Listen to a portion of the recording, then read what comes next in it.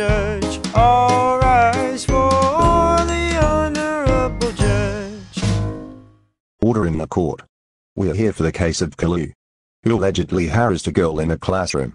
Caillou, why would you do such a thing? Well, it was Valentine's Day, and my ultimate goal was to put my tongue in a hot girl's mouth, so I did. Caillou, What you did really traumatized me, my family, and my friends. Caillou, are you listening? You traumatized an innocent girl. You disgust me. If that were my daughter, I would beat the crap out of you. I agree. What you did was absolutely horrific. I can't believe you did it to someone. You are the worst brother ever. Caillou, you are the worst son I could ever have.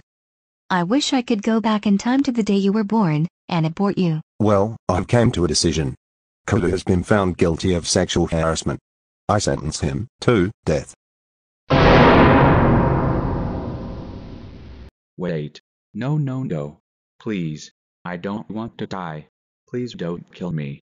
Well, too bad, so sad. You are going to get executed.